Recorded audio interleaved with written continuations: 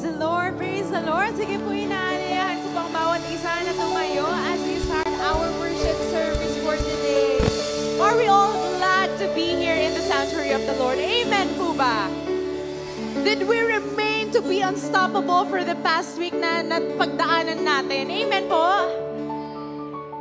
We should remain to be unstoppable all the days of our lives kasi ang Panginoon natin ay unstoppable. Amen po?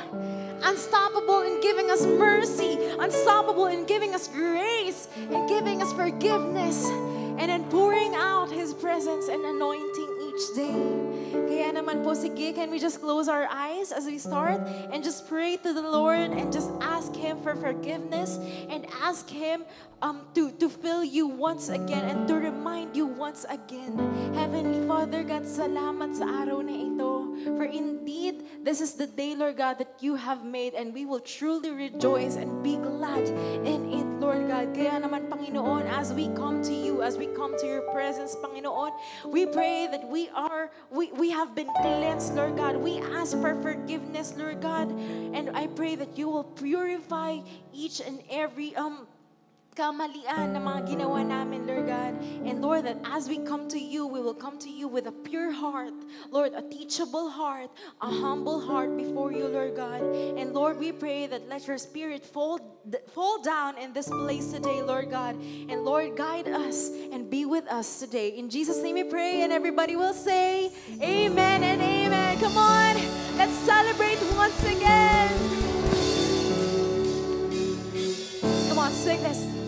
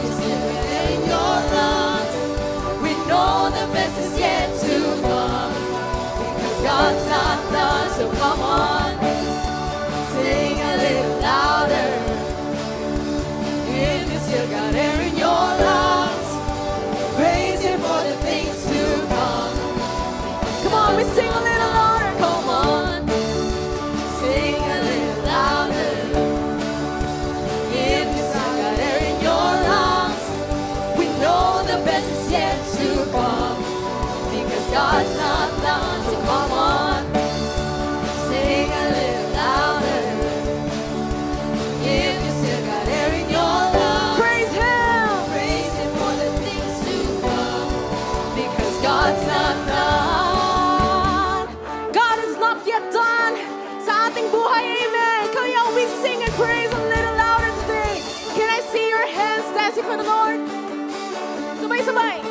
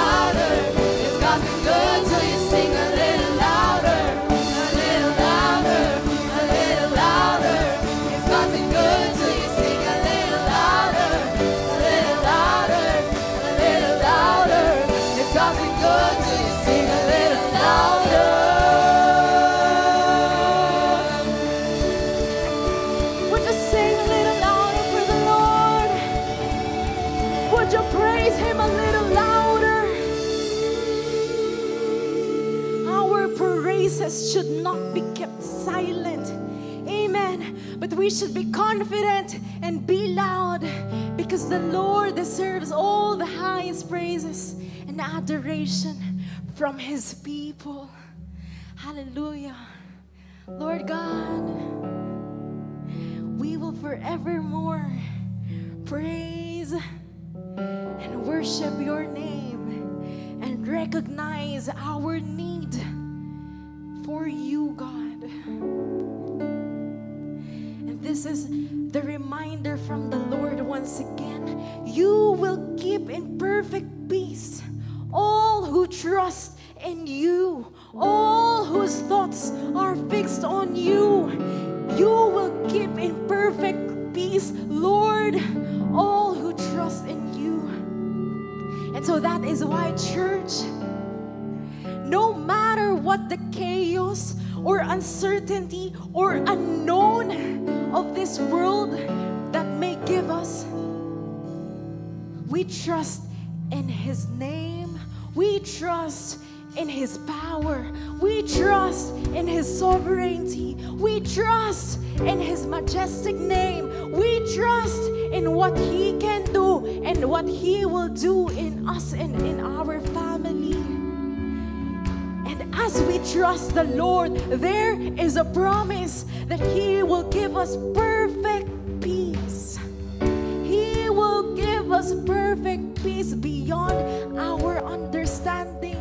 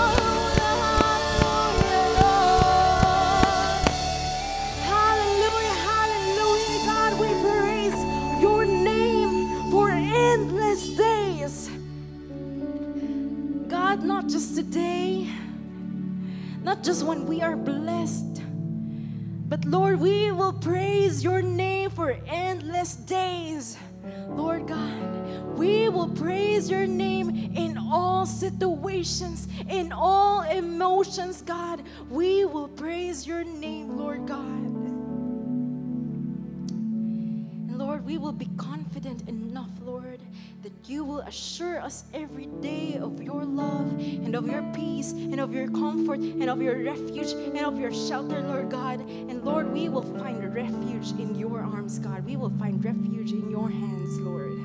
And Lord, I pray that you will cover us today, empower us once again, strengthen us, Lord God, and may your words fill us, Lord God from the top of our head to our tip of our toes, God. Lord, we love you, Lord. We praise your name. We glorify you. In Jesus' name we pray. And everybody will say, Amen and Amen and Amen. You may now be seated. God bless everyone.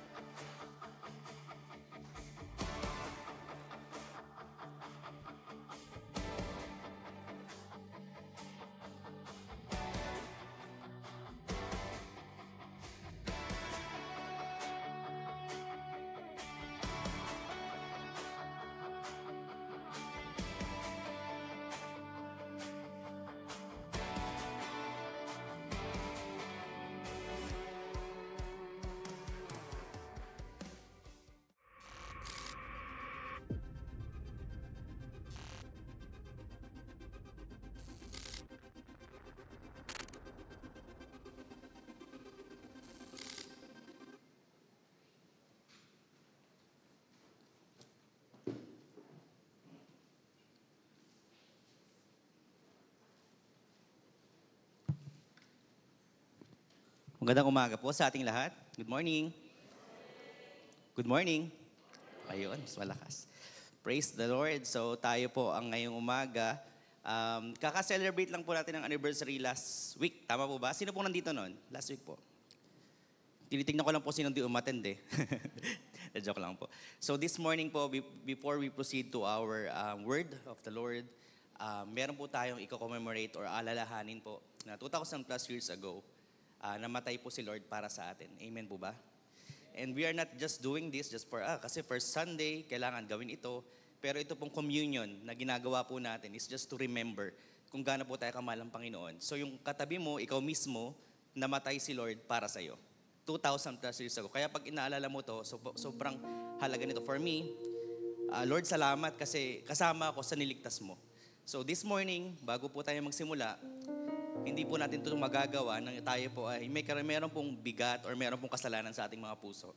So encourage you, church, this morning na uh, I will give you time, so let's pause for a while. Then uh, kausapin natin ng Panginoon if meron tayong kasalanan na itatago pa sa puso natin or sa isip natin right now, we will ask God to ask for forgiveness para magawa natin ang communion ng tama. And then, before we uh, commemorate this, yun nga, um, magpat, magpatuwid or magpatama tayo ng puso sa Panginoon. Amen po ba? So while the worship team is uh, singing, so ito po yung time na tayo po lumapit sa Panginoon, humingi po ng tawad. Praise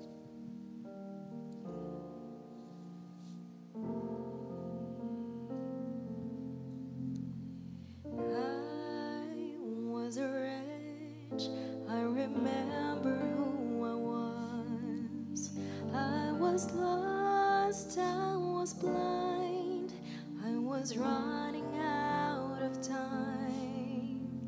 Sin separated. The bridge was far too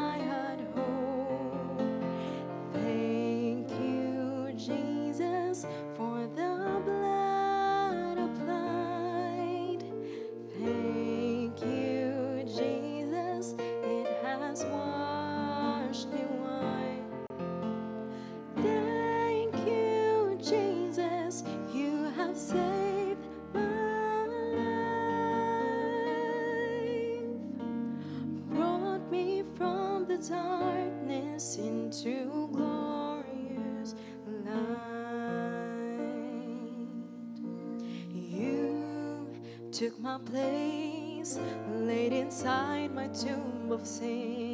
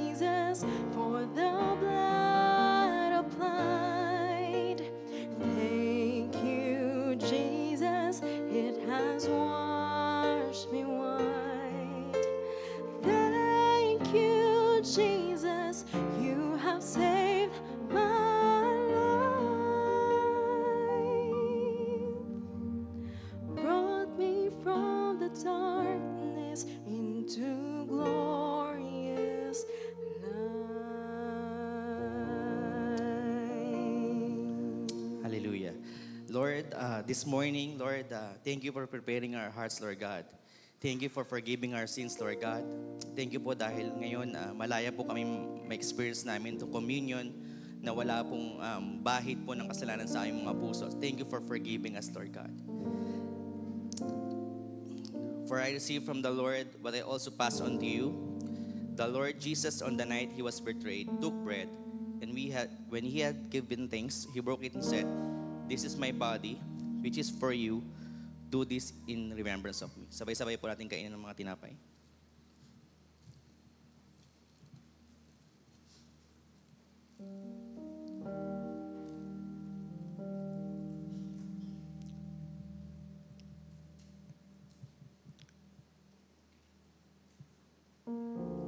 In the same way, after the supper, he took a cup, saying, This cup is the new covenant in my blood. Do this whenever you drink it in remembrance of me. Sabay-sabay po natin inumin ang juice.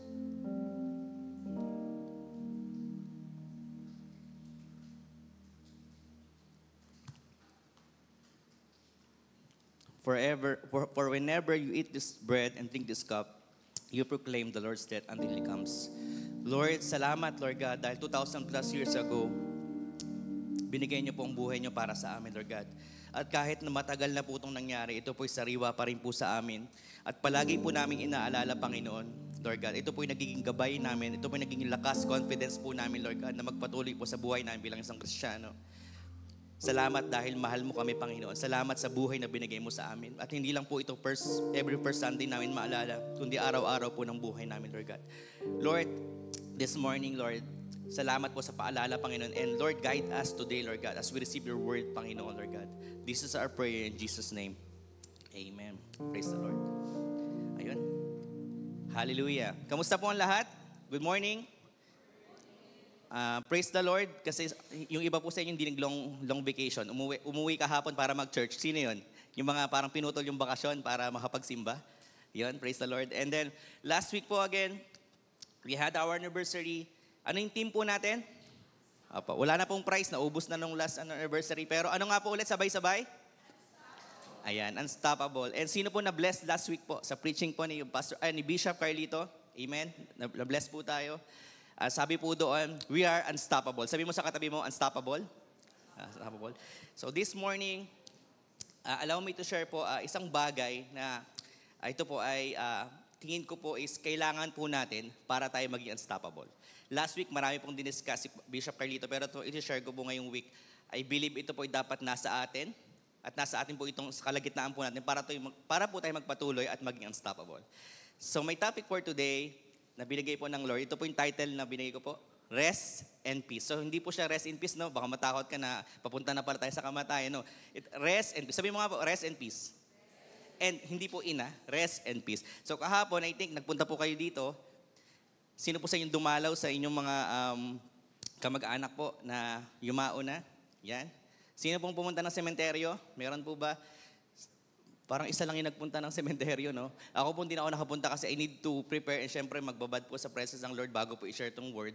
So nag-stay lang po ako sa bahay. Pero nakikita ko po sa Facebook yung traffic, yan, yung, yung basura sa mga nicho, yung mga hindi nagtapon, no? Yung mga ganun po. So, so sino po sa inyo nagtirik lang po ng kandila sa bahay? Yun, yun yung mga, wala na pong time na pumunta po sa kanya-kanyang probinsya. Pero ito, alam niyo po ba, itong time na to is parang nagiging time na rin for reunion.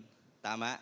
Nagkita-kita para yung pala excited ka para makita mo rin yung iba yung iba mong kamag-anak na hindi mo pa nakikita. Tama po kasi minsan dito lang po nagkakaroon ng panahon para magkita-kita. Pero para nag-iiba na rin po yung Nalala niyo po ba yung dati? Parang pag ano, ganyan, araw ng mga patay. Ngayon parang nagiging commercialized na or parang bakasyon na yung datingan. Di ba po? Parang mahal na araw din, nag-iiba na rin po yung meaning. And uh, bakit rest in peace? So I believe ito po ay kailangan po ng bawat isa. Amen? Tingnan mo nga yung katabi mo kung pagod, mukhang pagod, or dahil sobrang pagod, nakatulog. Ay, wala pa, wala pa. Mamaya pa yun, mga 9 o'clock. okay. So, yun po, um, kailangan po ng lahat ng pahinga po at kapayapaan. Amen? Sino po sa inyo gusto nyo tumira sa isang magu- magulong environment o pagising mo maingay agad? Di ba wala naman po? O, meron ba noon po dito? meron. Wala po, di ba? Parang gusto mo po pagising mo sa umaga, yes, may timplang kape. Ako, hindi, hindi po kasi ako nagkakape, kaya uh, exempted yung wife ko na magtimpla kasi hindi naman po talaga ako, nag, hindi ako mahilig sa mainit na ano, drink sa umaga. Pero what I'm trying to say po is yun nga po, sa umaga pa lang gusto po natin ng ano po, kapa, kaya, kaya, kapayapaan, gusto po natin ng pahinga. Okay? So, um, ano ba po ba ang tingin, tingin po natin is meaning po ng, ng pahinga po sa atin? Okay, ito po, nagbigay po tayo ng um, uh, example po, or, or mean, meaning po ng rest. To stop um, being active for a period of time in order to relax. So yan. Sinong gusto po dito mag-relax? Yung parang wala kang iniisip, ganyan to get back your strength. So, ibig sabihin, kapag ikaw pala nagpapahinga, kasi gusto mong manumbalik, yung lakas mo na nawala. Amen? I believe, kung nag, yung last time, di ba, yung anniversary last Sunday, sino kayang pinakapagod doon? Tingin nyo. Tingin ko yung dancers din, no? Saka yung mga singers. Kasi mga dancers talaga, pag abli ng practice, talagang umihiga sila dito. Kailangan nila magpahinga. So, kailangan bumalik yung kanilang lakas, no? And, or to cause someone or something to stop doing an activity in order to get back strength. So, pag nagpapahinga ka daw, wala kang ibang ginagawa. Okay? Ah, masarap kaya magpahinga after this, yung sobrang stress ka na sa work. Sino po dito stress sa work? Papatawag natin yung boss niyo. Biro lang po. Sino po dito yung parang pagod na pagod ka na sa work? Ako lang po yung nakikita sa live, so pwede kayo magtaas ng kamay. Hindi kayo makikita po ng mga boss niyo. so sino po sa inyo pagod na sa work, parang na-stress na, parang routine, or parang, ay, ito na naman. Monday na naman bukas, di ba? Pa, sa mga nagmi-minister po, kung ako po sa inyo, mag-serve na ako kay Lord. Kasi pag Monday, pahinga. Tama? Pero pag nag-work ka, pasok. So pili na lang po kayo, debiro lang po. Pero it's good po ang mga nag-minister po sa inyo sa dito sa harap, mga pastors po natin, is kapag Monday po, pahinga po nila yon rest day po nila. Okay? Or, pwedeng ito, ah, pag nakikita ko po ito, parang sobrang stressful. Tama? So, ang pasok mo alas 8, gigising ka mga alas 3 or alas 4, or hindi ko alam kung OA na po ba yon pero maaga kang gigising, di ba po? Para, sino po sa inyo nagko-commute papuntang Manila? Meron po, nagko-commute? Okay, di ba mahirap po, no? Kasi mag-MRT ka or may tinatawag na carousel, di ba po, yung bus. So, parang after that, parang hindi ka pa pumapasok, parang amoy uwian ka na. Parang ganun po, no? Parang pagod na pagod ka na talaga. Kasi parang ang dami mo nang nakasalamuha, nagsiksikan ka na sa MRT, mamaya manakawang ka pa na. So ang, ang dami pong naranasan na stress, pagod. Kaya parang ang sarap magpahinga po after po ng ganyan pong ano no. Yes, parang ganito no. Ang sa sino sino gusto magbakasyon? Sino sino magbakasyon? Sige. Noted. okay. So parang Di ba po, kami po, ah, I think next year, ah, meron po kasi nagkaroon ng promo no, na, ah, I think Cebu Pacific or airline. Hindi po to ano, no, paid advertisement. Pero pag mura po talaga yung ah, airline, nakapag-book, nakapag-bakasyon. So kami, for, sa, sa case po namin family, so ah, birthday of my wife next year, parang nag-book po kami. So ganyan. So ang sarap na after nung pagod mo, stress mo, magpapahinga ka. Ganyan. Pero pag nandyan ka kaya, ano kayang iniisip mo? ay ganun pa rin. So hindi pala siya tunay na pahinga. Pag nandyan ka, inisipin mo, ano bang, ay naiwan ko yung, ah, may aso kami sa bahay. O for example, pagbalik ko, babayaran ko kasi kinredit card ko pala to. So may mga ganun. So pa- parang, ano ba talaga, ano, Brother Julius, ano yung meaning talaga ng rest and peace? Gusto ko ma-experience ang this morning. Sino po sa inyo gusto niyo ma-experience ang rest and peace? Hindi po rest and peace ha, rest and peace. So if you, yan, if you claim that po, this morning, um, di po tayo papayag na umalis po sa lugar na to na we cannot claim this from the Lord. Yung rest and peace. Okay? Yung kailangan po natin na, gusto niyo po ba ng unlimited rest and peace? Yung parang kahit anong sitwasyon sa buhay po natin, we can experience this kind of rest and peace. Praise the Lord. So anong meaning po ng peace? Ayan po. The state of not being interrupted or annoyed by worry, problems, noise, or unwanted actions. Boom. Yung pala yung meaning ng peace, no? Sabi doon, the state of not being interrupted. Ibig sabihin pala, hindi porket binigyan ka ng peace ng Lord, ay hindi ka na magkakaroon ng problema, ng challenges. Amen? So pag sinabing state of not being interrupted, kahit na mayroon kang problema dumating sa buhay mo, meron ka pa rin kapayapaan. Amen? Amen po ba? Okay. Allow me to share uh, short testimony po. No? Ah, ito po is sa SNR last week lang. Kapag nagpe-prepare po kami ng, I think sa other preachers, kapag nagpe-prepare po kami ng sermon, minsan yung mga example, nararanasan mo after ng preparation mo. Parang lalabas ka, uy, uy, pwede ko itong isama sa preaching. So ito po sa SNR is, ah, tapos na kami mag-grocery, so nagka- kumakain po kami ng family ko. Then, ah, meron po, ah, may kailangan pa kaming bilhin, balikan. So just to, dalawang ano lang po siya, ah, prem, kung alam niyo po yan, yung prem, parang spam siya. So kailangan balikan. So alam niyo naman sa SNR, di ba po? Sino sa inyo nakapunta ng SNR? So mahaba yung pila. That's ano pa. So holiday pa kasi, October 31, so mag-holiday. Ang haba ng pila. So, may dalawa akong dalang delata, then nag- kailangan ko na rin magmadali kasi may gagawin po kami. Ano yung niremind sa akin ng Lord? Sabi niya, sabi ng ano, di ba ano yung inaaral mo anak? Di ba peace? So paano ko magiging mapayapa dito? Ang haba ng pila, dalawa lang yung dala ko. Yung mga nasa harap ko, ang daming grocery. Di ba alam niyo naman po sa ah, SNR, maramihan talaga po yung binibili. Then sa isip ko po, yung una ko naisip, pumunta kaya ako doon sa online na, alam niyo po yung online sa bandang dulo, online siya na cashier, wala nakapila. Pakiusap ko na lang na, eh sige, baka pwedeng ito, dalawa lang naman yung bibiling ko eh. Tapos nag-iisip na ako, "Asan ba- alam mo yun, nararatel ka na. So just simple testimony na parang nahassle na ako. Saan ako? Unahan ko kayo sa may kabila. Saan ba yung konting pila dito? Na-experience ko na yan, kahit sa pure gold po or parang, saan ba dito yung mabilis? Pero niremenda ako ng Lord dahil ito po, inaalala ko po siya. Parang, anak, naging mapayapa ka lang. Yung nasa unahan ko, ang daming binibili. Yung tingin pa sa akin, parang, yung hindi ka namin papasingitin kasi bakit, ano, pumila kami. di- Parang ganun. So parang, yung pala, ano na yun ang kaaway sa akin, na parang, ba't ganun? Parang intimidating nasa unahan ko. Then again, niremenda ako ng Holy Spirit to be at peace. So ako, ganyan lang ako. So titig- titignan ko sa malayo yung mag-ina ko na kumakain. So ako naman, relax lang ako ganyan. So, all of a sudden, sabi, Sir, pwede ka, tinawag pa akong sir, no? so para ang feeling ko, Hindi ako papasingitin, pero tinawag pa ako, sir, in that time parang naka-shorts lang yata ko, ano, sabi niya, sir, pwede ka nang mauna. Ba- pa nga ako, basta wala kang kasunod ha. Kasi baka akala niya may una, tapos ang daming ino. So pinauna ako nun, so praise the Lord. So pwede po na natin palakpakan yung Lord. So parang just a simple um, uh, story. But you can uh, just, um, alam niyo po yun, um, exercise po yung pagkakaroon ng kapayapaan. Amen? So nasa introduction pa lang po tayo. so yun po. I- I'm just sharing na gaano kabuti ang Panginoon. Kung hindi natin napapansin yun. So for example, pinairal natin yung pride. Manager, baka pwedeng dalawa lang naman to. eh. Lagi naman ako namimili dito. So nagiging yung ego na lahat. Alam niyo yun, lumalabas na yung pagka-Christian natin. Wherein we can wait and just allow the Holy Spirit or the presence of the Lord to move. That- just like that. Amen? Okay po. Let's proceed. Okay po. So, meron daw dalawang painting. Ito, maganda to. May dalawang painting. Kailangan ko po ng inyong mga boto. No? Ano daw po yung verse, ah, sorry, pinaka po, pinaka the best um, example po ng kapayapaan. Ano po ito? Baka iba pala yung nasa ano ko eh, slide ko. Hindi, parehas pala. okay. Ito po ay tupa na nakahiga po sila sa ano po to? Um, damuhan.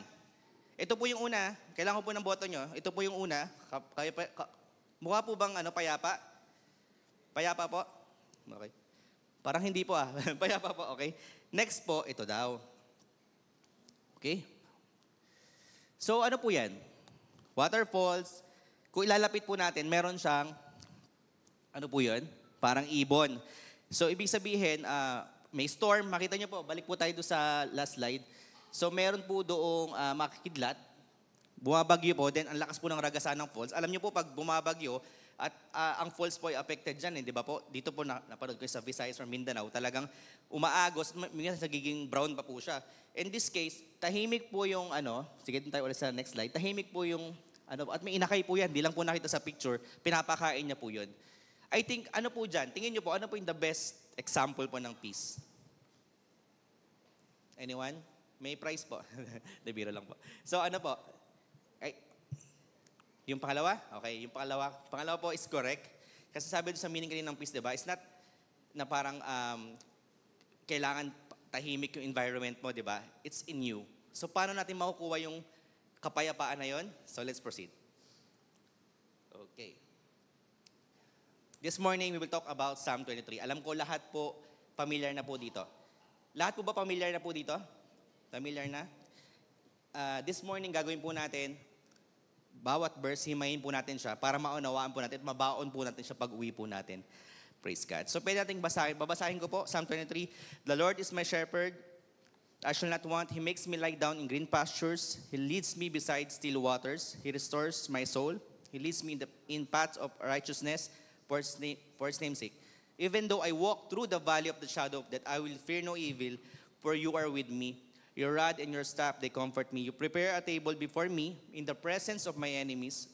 You anoint my head with oil. My cup overflows. Surely, goodness and mercy shall follow me all the days of my life, and I shall dwell in the house of the Lord forever. Praise the Lord for your word. Father, this morning, we just pray na ma- ikaw po ay pumagitna po sa amin, Lord God, habang inaaral po namin yung salita, Panginoon, Lord. Let there be transformation every word, Panginoon, na, na marinig namin this morning. Hindi po kami alis sa lugar na to, Panginoon, that hindi mo nababago yung buhay namin at nare-receive namin tunay na pahinga at kapayapaan na nagagaling sa iyo, Lord God.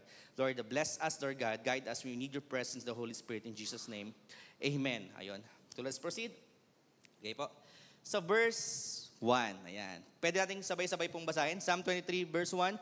The Lord is my shepherd, I lack nothing. Okay?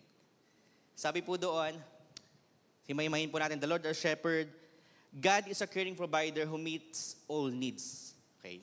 So ibig sabihin, lahat ng pangailangan mo. Minsan, yung kapayapaan nawawala po sa atin because ang dami natin kailangan sa buhay na hindi po nangyayari. For example, you want this, I want house and lot, I want car, or kailangan ko ng magandang work, kailangan ko ng magandang opportunity, kailangan ko ng business. Nanataranta na tayo. Ito na ba yung Lord? Minsan, nauuna tayo, wow, ang gandang opportunity, i-grab ko na to.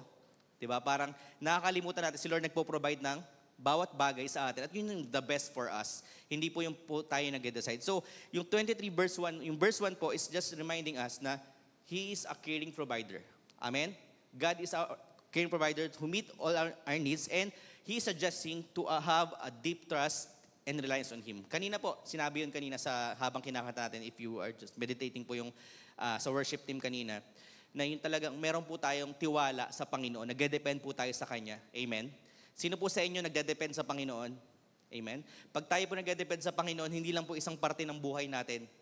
Dapat po, lahat po, sabi nga po ni Brother Sam nung last po na preaching, di ba dapat po 100% din full obedience po kailangan. Hindi po yung parang, eh dito lang sa love life ko mag-obey.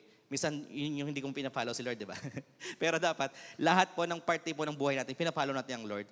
And ito pong verse 1, I lack nothing because I have God. Amen? I, sabi nyo nga po, I lack nothing because I have God. Because I have God. Praise the Lord.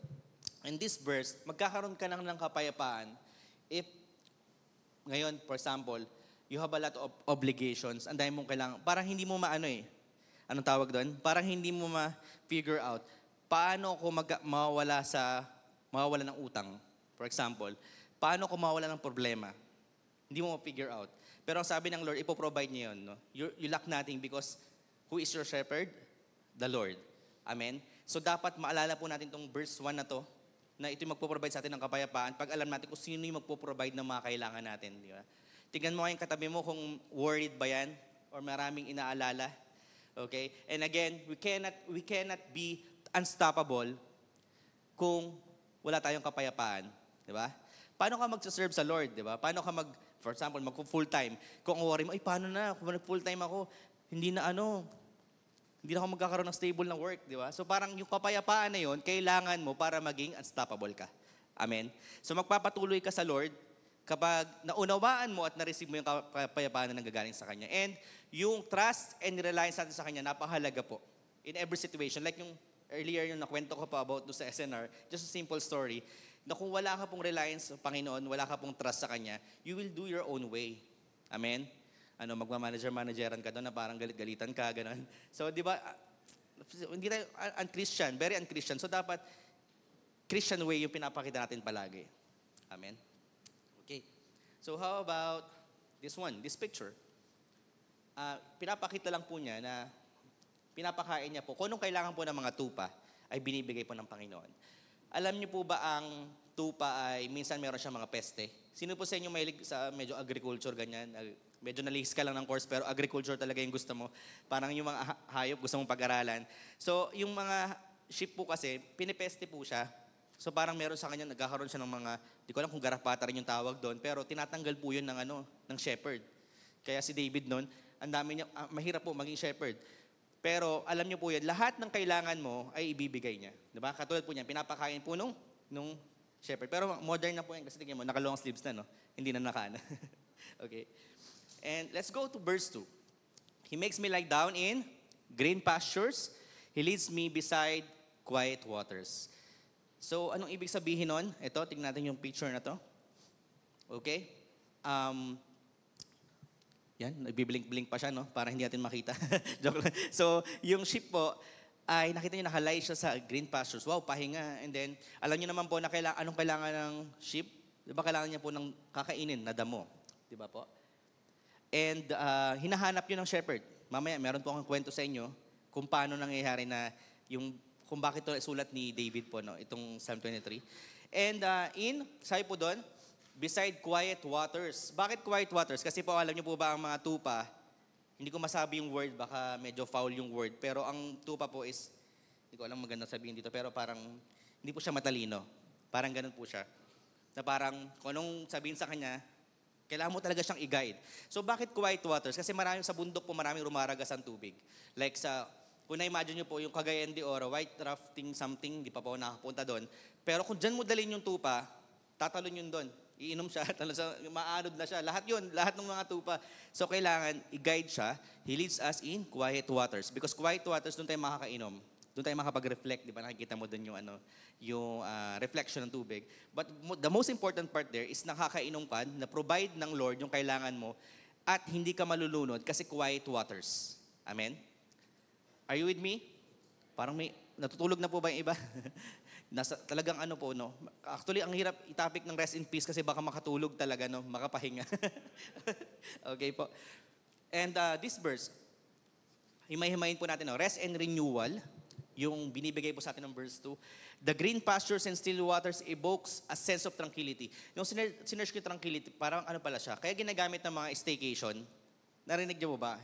Home of tranquility, tranquility, where you can rest. Kasi it's a place of rest po, yung makapahinga ka. So pag sinabing tranquility, mostly sa mga condo uh, staycation ginagamit nito, makakapahinga ka daw because of the interior, malambot yung sofa, malambot yung kama. So ganun po siya. So binibigyan tayo ng Lord ng parang tranquility and abundance. Bakit? Di ba po binigyan po tayo ng water, binigyan po tayo ng yung sa green pasture. He, lead, he leads us to the places of rest, offering both physical and spiritual nourishment. Hallelujah. Praise the Lord. So tayo po inire-renew ng Panginoon. Amen? Sino po sa inyo this morning, um, ah, kailangan nyo po ng ah, renewal ng Panginoon, refreshment. Okay? So mamaya po, um, may, may we encounter God's presence here na talaga pong ma-experience po natin yung presence and syempre yung peace na galing po kay Lord. Ayun. And we need physical and spiritual nourishment. Di ba po, totoo po yun, di ba kapag pagod na pagod ka na, kailangan mo ng pahinga. Amen? Sa spiritual life din po natin, kailangan po natin ma- ma-refresh din. Di ba po? Kasi dyan po naging reason para, ay, ayoko na mag-serve kay Lord, ayoko na magsimba. Kapatid, mas kailangan mo magsimba kasi kailangan mo ma-renew. I'm telling you, kung na, na, na, napapagod ka na magsimba, pilitin mo kapatid, kailangan mo talaga magsimba para ma-renew ka ng Panginoon. Kasi once na pumapasok ka sa pintong to, ma-experience mo na ulit ang, ang pag-ibig ng Panginoon. Kasi marahil marami kang worries na natatabunan yung peace mo, kaya parang ayaw mo na magsimba. Parang ganun po. Okay? And then next is, sa verse 3, He refreshes my soul. He guides me along the right path for His name's sake. Okay? Ano pong ibig sabihin nun? Okay? It's restoration and guidance. He restores the soul and, gui- and guides us along paths of righteousness. Di ba po ang Lord sa atin, para pong tayo po correct. Kapatid, ma- for example, si Tita Mayan, kinausap ni Lord, Tita, ito, ito yung, tita yung tawag sa Lord. no? Ito, ito yung ta- dapat gawin mo. Kailangan kitang ilagay sa tama. Sino po sa inyo gustong sundin yung, ano, yung righteousness ng Panginoon? Amen. Kasi andun din po yung kapayapaan, andun din po yung blessing. Di ba po? And then, this signifies not only spiritual rejuvenation. Itong rejuvenation, napakalalim na word, pero la- la- lagi po itong nagagamit saan po? Uy, nag-rejuve ka ba? Parang ano yun, di ba? Yung mga ano, ano ba yan? Yung mga sa babae, mga ano po yung mga ah, hindi natin banggitin yung mga company pero yung mga nag-rejuve po sila re- rejuvenation kasi nare-refresh yung kanilang mga muka. Di ba po yung mga mga medyo umeedad, gusto pong bumata. May ganun po ba dito? Parang lahat kasi bata dito eh, hanggang likod. So yun, praise the Lord. And ang mahalaga po dito is nire-restore tayo ng Panginoon and ginaguide po tayo sa path of righteousness. Amen? And dapat po, true enough na dapat po tayo po ay nagiging um, Nadidiscern po natin kapag tayo po nilalayo ng kaaway na sa righteousness. Kanina po, napag-usapan namin ni, ni Brother Homer, kanina quick lang po bago kami mag-pray before the service, na talagang ang kaaway po talaga, sisirain niya po yung, ah, yes, yung, yung peace mo, pwede niya pong sirain para mamaya bumalik ka na ulit sa dati mong buhay. Di ba, bigyan kayo ng problema. May mga problema po ganyan. So, ang tanong, meron ka bang kapayapaan? Ano ba yung peace? It's not, hindi po siya yung parang walang problema, walang challenges. Pero kapag meron kang kapayapaan ng Panginoon, di ba po, alam mo kapag may gawa yung kaaway na talaga nag-strike sa'yo, ito yung kaaway, binabato ka, huwag ka na magsimba, or ang daming atake, or maraming, um, marami pong uh, nagpe-persecute sa'yo, di ba? Nire-remind ka lang ng Panginoon na ito yung tamang daan papunta sa akin. Amen? Like yung shepherd, ano pong ginagawa ng shepherd? Ano pong meron sa shepherd? Yung, anong tawag dun sa ano niya? Rod po yun, di ba? Nakita niyo po yun pag ganun, yung rod.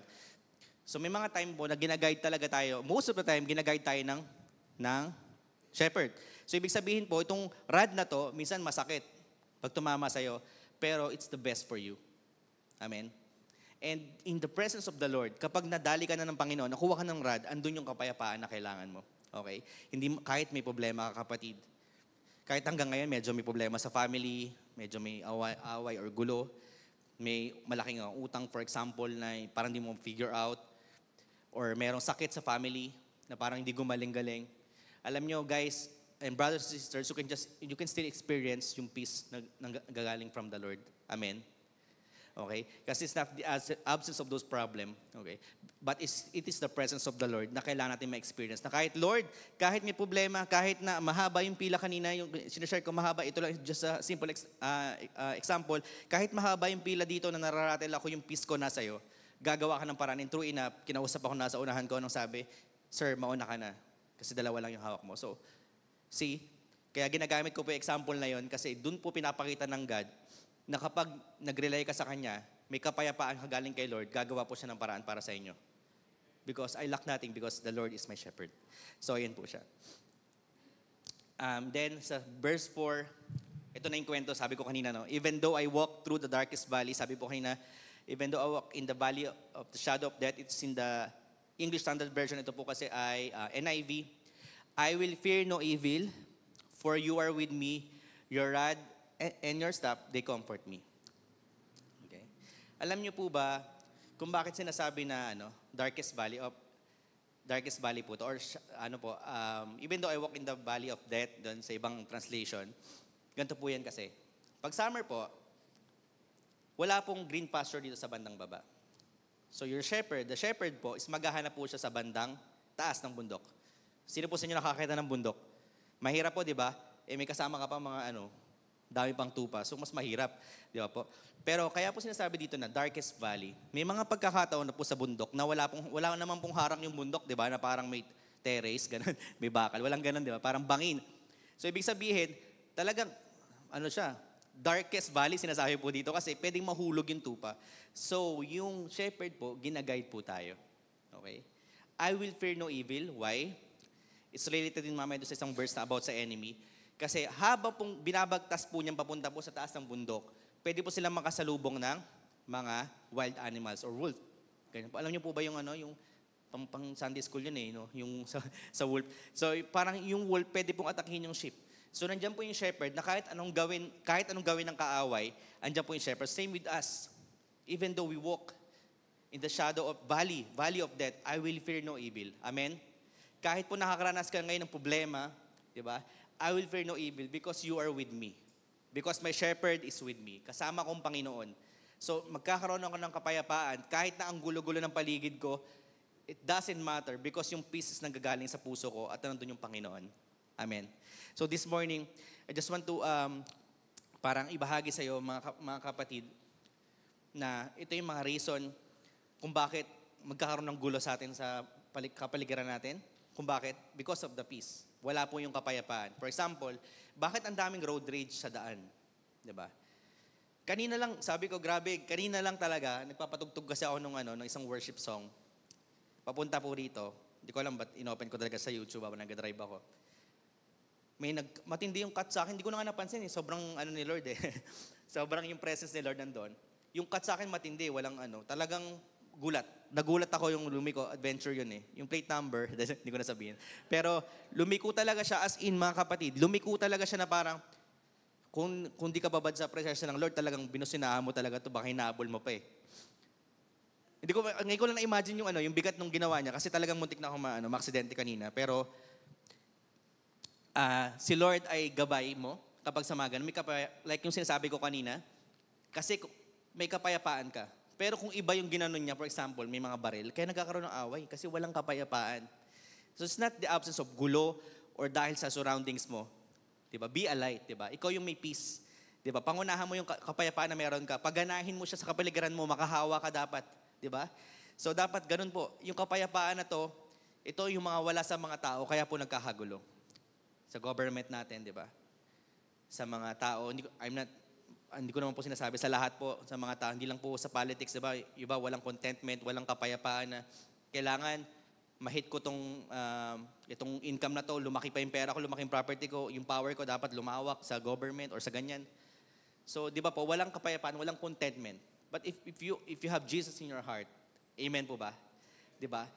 At hindi naman porket po ay na kay Lord ka, hindi ka na po ano eh magpa-prosper. Baliktad, dapat ka po magka-prosper tayo, 'di ba? We can have our business, 'di ba po? We can promote sa work, pwede tayong maging ah, mataas pong position natin sa work kapag kahit po meron po tayong Diyos sa buhay natin. Kasi baka sabihin, ay kailangan, ano, hindi, hindi, hindi po ganon. So, we can be uh, victorious po. Lalo na po kasi because we have God in our hearts po. Amen? Amen. So yun po. And then sinabi po dito, comfort in darkness. In the face of danger or adversity, ibig sabihin parang challenges po, yung adversity or any problems, hurdles. Ito po sinisimbolize niya po yung valley of the shadow of death. So lahat po ng problema na meron tayo, yun po yung valley of the shadow of death. But, don't be afraid, fear no evil because God is with us. And siya po yung magbibigay sa atin ng kapayapaan. Amen? And then the presence of God represented by the rod and staff. Wag, wag po kayo mag-alala mga kapatid. Kapag tayo po ay naliligaw ng landas, andyan po yung rod ng Panginoon. So wag po tayo magtampo sa Panginoon. Panginoon, ang sakit. Lord, ang sakit naman ng stop mo. Ang sakit. Yung ginaganon mo ko is for your own good. Amen. So ngayon, kung meron nasasaktan ka na parang, Lord, hindi ko to gusto, pero ba't dito mo ako dinadala? Because baka mahulog ka sa ano, darkest valley. Amen? So gusto ng Lord, makaakit ka sa pastures. Kasi dito wala eh. Walang ano. For example, wala talagang damo. Dinadala ka ng Lord sa mas magand- greener pasture. Dadaan ka sa bangin. So kailangan maging sensitive ka doon sa rod ng Panginoon and stop niya. Na, gagala, na ikaw ay gagabayan niya hanggang sa makarating ka doon. Okay? So ang problema natin mga kapatid, ini-ignore natin ang guidance ng Panginoon. Ang kapayapaan ng Panginoon, minsan hindi natin siya, again, na, naalala or talagang sinasabuhay. Kaya pag mayroong mga problema, ano kaya ang pwede kong gawin? Sino kaya ang pwede kong lapitan, di ba? Parang ikaw agad, yung, yung, yung sarili mo agad na plano na susunod, di ba? Hindi yung sa Panginoon. Kaya nangyayari, it will lead us to destruction. Amen? Kung babalikan niyo po sa buhay niyo, bakit ang daming failure or destruction sa buhay mo? Isa lang po ang sagot dyan. Baka hindi niyo po sinunod yung Panginoon. Tama po ba? Bakit for the longest time, paikot-ikot ka sa struggle na to? Or bakit for the longest time, ang dami problema because hindi mo binibigay sa Panginoon yung tiwala mo. Wala yung kapayapaan na binibigay ng Lord sa puso mo. So this morning, we will not allow or we will not leave this place na we cannot experience the peace and rest of God. Amen? So it's not just a simple service. Mamaya we will pray na Lord, kahit po saan kami magpunta, dala-dala ko po yung kapayapaan na nanggagaling sa'yo. If you're tired right now, later we will pray. Kumbaga parang pagod ka na, parang, Lord, um, wala, wala na akong kapayapaan, parang kulang, or ito wala na akong pag-asa dito sa problemang to, God can give us peace para magpatuloy and we can we can be unstoppable if we have peace in our hearts. Ayun. And then, uh, ito po yung sinasabi ko kanina, kasi nga, di ba po, dry land, kaya hinahanapan ng shepherd po yung sheep papunta sa green pasture. Na-imagine nyo po ba? Akit sila ng bundok para, anak, dadaling niyo yung mga tupa. So, hindi ko alam yung, ano bang tunog ng tupa? Hindi ko alam, alam tunog ng tupa. Pero dinadala niya yung pataas doon para doon niya po pakainin sa taas. Kasi doon, andun yung green pasture. So, si Lord lagi nagpo-provide. Right now, if you're in the situation na dry land, parang wala. Walang wala talaga. Sino po sa inyo walang wala? Pero parang lahat meron eh, no? so parang walang wala talaga Lord ngayon, talagang kapos. Ang Lord gagawa ng paraan. Pero the problem is, if you will not allow God, na ganunin kanya ng rod and stop. Amen? Parang, ayoko Lord, masakit. Pero yun talaga yung the best para sa iyo eh. Di ba po? Ayun. Praise the Lord. Yan. And then sa verse 5, You prepare a table, table before me in the presence of my enemies. You anoint my head with oil, my cup overflows. So ano po ibig sabihin nito? Bakit may table na sinabi dito si David? Uh, sabi po dito, there's abundance in adversity. Adversity is problem or uh, any trials. God is portrayed as hosting a feast in the presence of the enemies. So ibig sabihin, kahit pala may gawa ng kaaway sa buhay natin, we can celebrate with God. Lord, may kapayapaan ako sa buhay ko na nanggagaling sa'yo na kahit na may problema, kaya ko maging mapayapa. Kasi gagawa at gagawa ka, Panginoon. Meron kang gagawing solusyon sa problema ko. Lord, kakapit ako sa'yo. Hindi pa to yung huli, hindi pa to yung dead end ng buhay ko. Alam ko may gagawin ka para sa akin. Kaya this time, Panginoon, if you will just um, parang meditating the word of the Lord, magpatuloy ka kapatid. Diba? Amen? Magpatuloy ka kapatid kasi yung kapayapaan ng Lord is talagang nandyan. Unlimited peace from, peace from the Lord na kapag meron ka nito kapatid, talagang magpapatuloy ka sa buhay mo at we, you can share it to other people, even sa family mo. Di ba po? In mga worries and trials na to, is kaya niya pong balutin ng kapayapaan na nanggagaling sa Diyos. Amen? Amen. Andyan pa po ba kayo?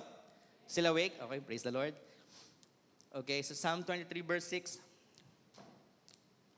Surely your goodness and love will follow me all the days of my life. I will dwell in the house of the Lord forever. So sino po sa inyo gusto ma-experience ng kabutihan ng Panginoon, pagpamahal ng Panginoon habang buhay po? Sino po sa inyo? Amen? And syempre, kapag ganito po, na na-experience po natin yung kabutihan ng Panginoon, talagang magpapatuloy at magpapatuloy po tayo sa ating buhay. Minsan po kasi, ang isang ang buhay ng isang Kristiyano parang, sino po sa inyo ganon? Parang naging Christian ka, lalong dumami yung challenges. Kahit maliit, ano nyo lang konti. Di ba parang ganon. Parang mas dumami, dumami yung, bakit? Kasi wala ka na sa ano eh, sa kaaway. Yun lang po yung reason nun. Di ba good news po yun? Dumami yung problema mo kasi parang ginagawa mo na kasi mabuti inaatake ka na ng kaaway po. And it's the best thing po here sa 6 na po, no? Surely your goodness and love will follow me all the days of my life. I will dwell in the house of the Lord forever. So sobrang ganda po ng uh, sinabi ng Panginoon dito, no? Na pangako sa atin, no? Na sa buhay po natin, kasama natin yung kabutihan at pag-ibig ng Panginoon. Amen. So yung worries na meron ko ngayon, it's just a simple thing. Malaki po ang ating Panginoon.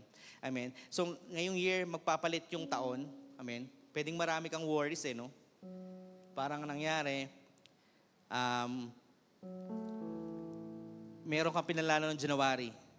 Tumalon ka. Hindi, joke lang. Tumalon ka ng ilang ano, hindi ka pa rin tumangkad. Uh, kidding aside, may mga pinalo ka na, Lord, November na, parang ano ah, parang hindi nangyari yung pinalano ko, no? May mga ganun kang worries. Parang sa mga anak mo, Lord, paano to mag-aaral yung mga anak ko? Pwede yun, mga ganun. Or, Lord, yung asawa ko, ingatan niyo po kasi nagkatrabaho siya pwedeng uh, sa malayong lugar, o here sa Philippines or sa ibang bansa. So marami kang worries. So meron kang kailangang um, mga settle na bayarin or pwedeng, so right now merong mga uh, sakit po sa inyong mga kamag-anak. I think yung sickness is the very um, mahirap pong masabihan ng ano, ng magkaroon ka ng kapayapaan. Di ba po? Ba't wala akong tissue dito? Joke lang. Okay po. So bakit um, mahirap sabihan? Kasi yung isang taong nasa karamdaman, sabihin mo siya ng papagaling ka ng Lord, medyo mahirap pero kapag talagang ipinawa mo sa Kanya na ang Lord ang magpapagaling sa'yo, nothing is impossible with God because He is our healer. Amen? So lahat ng worries na meron tayo, so this morning, kasi it's not, um, hindi siya magiging purposive tong service every Sunday if we will not apply uh, yung napag-aaralan natin. Yun. Thank you. Ayun. Yung napag-aaralan natin po every Sunday. Hindi po siya purposive. So what we need in this church is what, yung ano narinig po natin, we need to apply this paglabas po natin ng simbahan. Amen? So, um, may mga time na, um, sige, after anniversary, yes, uh, na, na experience natin na we are unstoppable, pero bago magpalit yung taon, kailangan po magkaroon tayo ng kapayapaan from the Lord. Kasi, ito po yung isa sa mga sandata po natin eh. Na kahit ano yung harapin mo next year, magpapatuloy, magpapatuloy ka. And the vision of this church po, and yung pinaka-heart po ng church na to, ay lahat po ay sumama po. I mean, lahat po maging victorious. And lahat po tayo victorious, minsan lang po nakakalimutan natin eh. Di ba po? Minsan parang natabunan po tayo ng mga problema. And nire-remind tayo ng Panginoon na kailangan natin mag-rely sa Kanya. Amen? Kailangan din po natin sa Kanya mag, um, magtiwala. And this trust, uh, ito pong word na trust, hindi po itong mawala every preaching, I believe. Kahit ano pong preaching dito ng mga uh, pastors or any young young preachers, yung pagtiwala po sa Panginoon, hindi po siya mawawala. Okay? Kasi pag nagtitiwala ka po sa Panginoon, mas mapapabuti po yung buhay mo. Amen? Mas mapupunta ka po sa magandang kalagayan. Amen po ba? Kasi ayaw po natin may, may mapahamak po sa atin. Hindi lang po dito sa loob ng simbahan, pati po sa mga tao na reach out po natin. Amen? So, bakit tayo nag-celebrate ng anniversary? 13 years, 2,000 souls, ganyan Because we need to reach out yung mga tao po na nasa labas. Lalong-lalo po sila na wala pong kapayapaan sa buhay. Okay? And we need to realize that the Lord is offering po yung peace na yon. Minsan nakakalimutan lang po natin. Kaya minsan nag, nagsuswimming tayo sa problema, nagsuswimming tayo sa trials. nakalimutan mo na yung Panginoon nagbibigay ng kapayapaan, be at peace ang sabi sa'yo ng Lord. Amen. And then, uh, ano po ba ibig sabihin ng ano? Assurance of God's presence. Sinasabi po doon sa verse 6, God is assuring us that He is always present in our lives. This is very important. Sa lahat po ng buhay o oras ng buhay natin, sabi mo nga sa katabi mo, kasama mo ang Panginoon. And kapag kasama mo ang Panginoon, yes, sa team natin, magiging unstoppable kapag kasama ang Panginoon. And lalo-lalo na kapag meron kang kapayapaan na nanggagaling sa Panginoon. Amen? Kasi kapag meron kang kapayapaan na nanggagaling sa Lord, paglabas mo dyan, yung response mo talaga, ano, Christ-like. May nang away sa'yo, may nang agaw sa'yo ng parking, yung may nang harang ng parking, di ba? So may mga ganun. Pero Lord, may kapayapaan kang binigay sa akin. Ano yung response ko dito? Siyempre, hindi ka naman kasalita baka sabihin nung ano mo, baliw ka. Pero sa isip mo, sinasabi mo, Lord, anong gagawin ko dito? I need your peace right now. I-activate mo yung peace na meron ka sa akin. Ano ang gagawin ko sa sitwasyon na to? Lord, bigyan yung kapayapa, kapayapaan na yon, i-activate mo sa akin right now. Refresh me what what I I need to do right now in this situation. Just a simple grocery, kanina lang po, ay yung nakaraan, no, yung sinishare ko. Pero Lord, anong gagawin ko dito? No, nagmamadali na ako, and ang haba ng pila. And uh, Lord, kahit parang mukhang nakaka-intimidate itong nasa harap ko, gumawa ka ng paraan. And anong ginawa ng Lord? Sabi nung nasa unahan kayo, sinabi ko, Sir, mauna ka na. So, that, that example really strikes to me. No? Kasi parang, simple bagay lang, andun ang Panginoon. How much more sa mga problema mo na malalaki. And we have a bigger God. And um, whatever the problems you have right now, God can give us peace. And it's already within us. We just need to activate it. Amen? Sabi mo sa katabi mo, you just need to activate it. Yung peace na yun. Okay? And uh, last last time nga po, okay, may mapakita lang po kasi hindi masyadong kita. Buti na lang kasi medyo uh, chubby ako dyan. Joke lang. So last, last uh, I think that was October 20, nag-preach po si si Brother Kito Carlos. Uh, nasa Batangas po ako, I went, I went there. So, ginawa ko po ito para masama lang sa preaching. De, biro lang po. De, ito pong, uh, I went for a dive. So, ito po ay first time po sa akin. Ano po, ano po pinagkaiba po ng free dive, free dive po kasi, free diving sa scuba diving. So scuba diving po kasi, um, di ba meron kang oxygen? So, chill, chill, hindi naman chill, pero mas matagal ka makakaroon sa ilalim ng tubig kasi meron ka oxygen. Yung free diving po, ayan, nakita niyo po dyan, no, maraming isda, tapos may artista, hindi, meron lang po. So, yan po, marami pong ano, isda. And then, um, what I'm trying to say is, kapag punta ka po sa ilalim ng tubig, kailangan mong ano, magano po ng hininga mo. I mean, yung i-hold mo, may mga training, may coaches po kami na ginawa para tumagal ka po. And napakahirap po pala niyan kasi may pressure din. So kailangan mo po siyang parang aralin po yun para makatagal ka sa ilalim, para magkaroon ka ng magandang video and photo kasi kasama po yun. So this time, nakita nyo po, actually intro pa lang po yan, pero um, hindi po ako nakatagal sa ilalim ng tubig. Mukha lang po sa picture. Kasi nga po, intro lang po, marami po kailangang pag-aralan dyan sa dive. Pero what I'm trying to say, is nagtanong-tanong po ako dun sa ano, sa mga ibang divers o sa mga new joiners. Bakit kayo nagda-dive? Yung tinanong ko, bakit kayo nagda-dive? Sabi nila kasi ano eh, payapa sa ano, sa ilalim ng tubig, ganyan. So, ano, pag nasa ilalim ako ng tubig, parang nawawala yung problema ko, ganyan-ganyan. So, isip ko, so pag angat mo, pag uwi mo ng dive, anong gagawin? Anong meron na ulit? So, nawala na ulit? Nawala na ulit yung peace. So, doon lang ba yung environment lang ba yung peace? So, sabi ko, ito yung, hindi ito yung peace na sinasabi ng Lord sa buhay natin mga Kristiyano. Ang peace po, kahit marami kang problema, di ba? Parang yun ang kayo nagbabakasyon. Di ba po? Yun po yung parang magandang example ng peace na kahit may problema po, is nakapagpahinga ka pa rin sa Panginoon. Kasi alam mong kikilos yung Panginoon sa mga problema mo. Amen?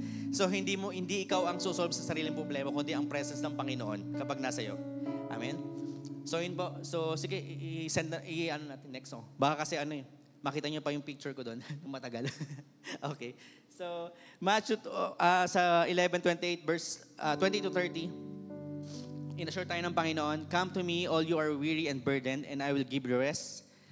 Take my yoke upon you and learn from me, for I am gentle and humble in heart, and you will find rest of, for your souls. For my yoke is easy and my burden is light. Praise the Lord. Amen? Amen po ba? Di ba? Na parang ang rest daw ay makuha natin sa Panginoon. Yung kapahinga nating souls. Di ba? Parang this, this time sa buhay po natin, parang ang daming paraan para mapagod tayo. Pagod ka na ba sa, if you are in the church, parang ang dami mo rin ginagawa sa school, parang, Lord, ang hirap, parang ang daming pag, ang pagsabayin, ganyan. Or and, sa, sa school, or sa work, ganyan, parang mukha lang na okay ka, parang ganun. Pero sa isip mo talagang, Lord, susuko ka na, parang ganyan, di mo na kaya. Pero kapag yung naunawa mo kapatid, yung peace na nanggagaling kay Lord, you will be refreshed. Amen. You will be renewed na patuloy lang ang laban natin bilang isang Kristiyano. ba? Ang nagpapalakas sa atin is yung kapayapaan na nanggagaling sa Lord. Praise the Lord. And don't forget these people from the Bible, this character. 'Di ba po? Um, si Daniel po. 'Di ba po? Nakatulog po siya sa lions den, 'di ba? Kahit na ikaw kaya dalhin dun sa lions den, 'di ba po? Then Peter, kahit nakulong po siya slept in a prison. Jesus slept in a storm. Nalala niyo po yan? Nakatulog pa si Jesus Christ kahit po sa gitna ng storm. No matter your situation, you can rest when you have God. Amen? So, hindi ko po sinasabi dito this morning na mawawala lahat ng problema mo para magkaroon ka ng kapayapaan. No? Magkakaroon ka ng presence ng Lord. Magkakaroon ka ng peace kahit may problema ka. Amen? So, because we are still here in earth, this is our temporary home. Tama po? Meron, ano po ba yung, ano natin, talagang residence natin, saan po ba? Sa langit. Amen? So, hindi po mawala yung problema, pero ang tangi pong kasama natin kahit sa gitna ng problema ay presensya ng Panginoon. Amen? Praise the Lord. And then, uh, allow me to share this um, acronym. Medyo ang Church of God, mahilig sa acronym. Medyo ginaya ko na rin po. so, so rest, uh, it's all about uh, restoration. And um, yun, uh, God's promise to restore and renew us. Uh, you can uh, go back sa 23 verse 3. Sa yun po yung sinabi niya na we can be renewed and restored in the presence of the Lord. And eternal life. Sa John 3.16. La- lahat po tayo alam to. Amen? Na kapag meron po tayong eternal life, andun po yung confidence natin na, Lord, eternal yung tingin mo sa buhay. Hindi temporary lang nandito ka. So ang laban mo hanggang sa dulo, hanggang mabawian ka ng buhay, hanggang sa bumalik sa ang Panginoon dito. So yun ang laban mo, hindi yung work mo lang ang laban mo. Parang, ito lang, dyan na ba umiikot yung buhay mo? Di ba? Hindi. Ang laban mo ay eternal. Amen? So, makaroon ka ng rest and peace if you have eternal life. And kanina, nalimutan kong tanong, meron po ba itong first time na pumunta? First time po, na-invite ka, wala pong first time? Okay po, walang first time. Ay, meron po. First time? Okay po. Okay, Sabat. Ano itong Sabat? Yung ating pag-church, pag-worship. Uh, it can be C2S, Bible study, prayer meeting. Doon po tayo nakahanap ng rest. Okay? So, hindi lang po yung narinig nyo kay Brother Jules, narinig po ngayong Sunday, ay, may peace na ako, hindi ka na magsisimba o hindi ka na atin ng mga C2S, ng Bible study. Doon po natin ma-maintain po yun. I-remind tayo ng Lord na kapayapaan na nanggagaling po sa Kanya. Amen? And then, very important po yung trust. Placing our faith in God's plan. Ano yung Proverbs 3, 5 to 6? Trust in the Lord with all your heart and lean not your understanding. In all, in all your ways, acknowledge Him and He will direct your path. Amen po ba? So dapat wag po yung sarili nating kaparaanan. Okay? Kasi kapag ka- sarili nating kaparaanan po yung ginagamit po natin, wala po talagang kapayapaan doon. Kasi limited lang po tayo. Kaya minsan nagkakaroon tayo ng distraction, nagkakaroon tayo ng failure because we don't trust God's plan in our lives. Wala yung kapayapaan na nanggagaling sa Panginoon. Amen? And um, lastly po, um, yep, in our conclusion,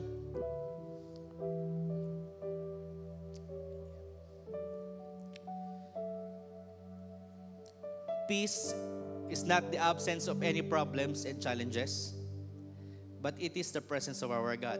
Amen. Pwede po natin palakpakan ng Panginoon. Hallelujah. Um, yung kapayapaan po, hindi po siya dahil wala kang problema ngayon or any challenges or any sickness. Okay? It is the presence of the Lord. Amen.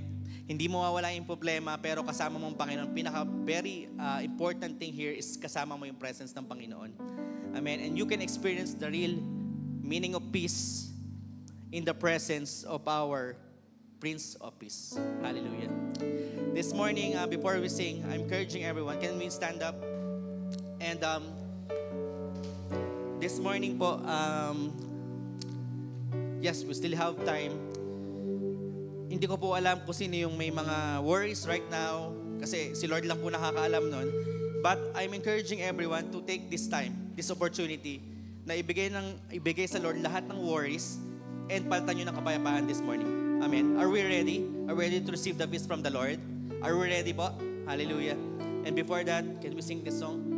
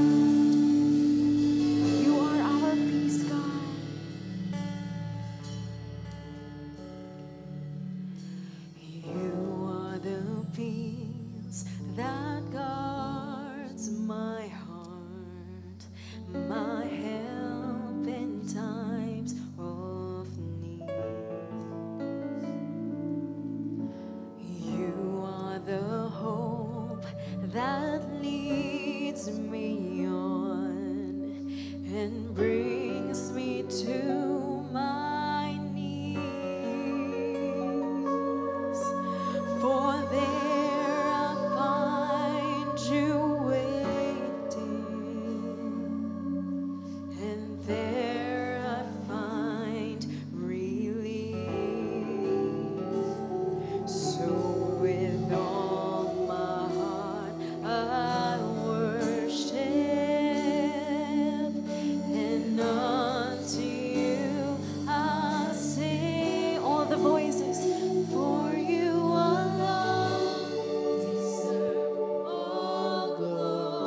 worship the Lord.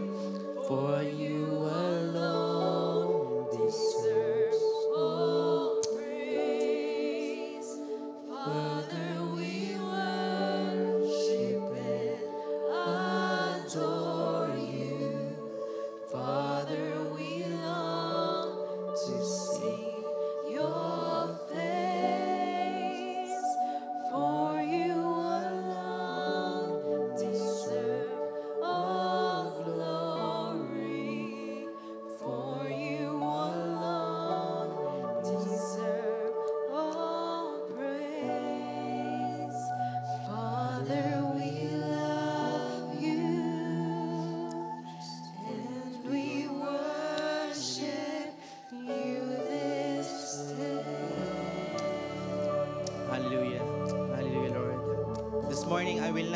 invite you to come in front, but I will just invite you to close your eyes. So no one can, um, alam niyo yan, yung para tumingin sa katabi or just focus in the presence of the Lord. Yes, everyone, can you please close your eyes? And right now, it was, I will ask if someone is, parang alam mo yun, parang um, bat-bat ka ng problems or talagang marami kang worries. If you have worries right now, na parang hindi mo na kayang ano siya, parang hindi mo na kaya siyang labanan, can you just raise your hand? Praise the Lord. Walang walang ibang makakita kundi ang Panginoon. Just close your eyes because ayaw natin uh, to be comfortable lang no na parang ang Lord makakita. It's just an act of faith. If you are worries, if you have worries right now, yeah, hallelujah. So you can just uh, uh, ibaba niyo po yung kamay niyo. Then for those people na meron kang ano, parang anxieties, parang what will happen next or next year right now. For example, you are head of a family and parang you are, parang nahirapan kang i- parang i-figure out how to lead my family right now. And you have prob- family problems right now. So can you just raise your hand? Praise the Lord. And for those people na, yes, you are um, battling any sickness right now. Meron po ba sa atin dito na merong may sakit? Pwedeng physically, emotionally, yeah, spiritually, medyo nawalan ka na rin ng gana mag-worship sa Lord. So, yes, you can raise your hand. Yung pagtaas niyo po ng kamay, hindi po yan ah, parang wala lang. You're just saying to the Lord, You are my shepherd. I lack nothing. And Lord, this morning, sa pagtaas ko ng kamay, just an act of faith, Lord. And uh, I'm Hallelujah. Lord, I'm reaching out to you, Lord God, that I need the peace coming from you. I'm worried all the time and I'm so tired. I need rest and peace from you. Lord, I'm claiming it right now in the name of Jesus. Hallelujah. Claim this right now. You can open your mouth. You can pray. Pwede nyo sabihin sa Panginoon yung panalangin nyo, Lord, ayoko na nito. Palta mo ng kapayapaan, Lord. Lord, replace this worry with faith and peace. Because we will not leave this place nang hindi po natin nararanasan yung pag-ibig ng Panginoon. No? Ayaw po natin mangyari na papasok ka dito, then lalabas ka ng wala lang. And the power of, and the presence of the Lord is so powerful that He, can transform you right now. It's not the preacher, not the worship team. It is the presence of the Lord. Let's invite uh, more of the presence of the Lord and the Holy Spirit in our midst as we sing, as we worship. Lord, we need your presence, Panginoon, Lord. Transform us, Lord God, and the peace, Lord God, that you are saying, Panginoon, sa salita mo, Panginoon. We need this in the name of Jesus, Lord God, Panginoon. Right now, thank you, Lord God, yung puso mo, pang puso ko, Panginoon, Lord God. Pinapalitan mo, Lord God, ng kapayapaan, ng pahinga, Lord God. I'm so tired for the longest time. I'm tired of thinking anong gagawin ko sa family. I'm tired of thinking anong trabaho yung kailangan ko. Or I have financial problems. I have sickness in the family. Siguro merong sakit pero wala dito mga kamag-anak mo na you are praying for the longest time. It's even cancer. Or it's even um, malalim na sakit na hindi gumagaling, hindi kaya pagalingin ng doktor. The Lord is our healer. We can just pray a simple prayer and God will move in the name of Jesus. Lord, we thank you, Lord God, for this morning, Panginoon. It's just a simple service, but your presence is here right now, Lord God. So we worship you, Lord God. We worship you, Panginoon. We magnify your name, Lord God. And thank you for the people, Lord God, na nagtaas mo ng kamay, Lord God. Thank you, Lord- God, for replacing their worries, Panginoon, of peace, Lord God, and rest that coming from you, Panginoon. Nag, makakapagpahinga na po, Panginoon, ang inyong mga anak, Lord God, sa presensya mo, Lord God. Hindi po mawawala ang kahit anong problema, Lord God. But pero, Lord God, kasama po namin kayo, Panginoon, sa lahat po ng battle na meron kami, Panginoon, Lord God. And thank God, for reminding us, Lord God, that true peace is coming from you, Panginoon, Lord God. Lord, allow me, Lord God, to bless your people, Lord God, this morning, Panginoon, Lord God. No one, God, will leave this place, Panginoon, nang hindi po naranasan ang presensya mo, Panginoon, Lord God. Can we sing the, the song one more time? Hallelujah. Let's continue to worship the Lord. Hallelujah. He deserves all the praise. For you alone Hallelujah. Come on, open your mouth.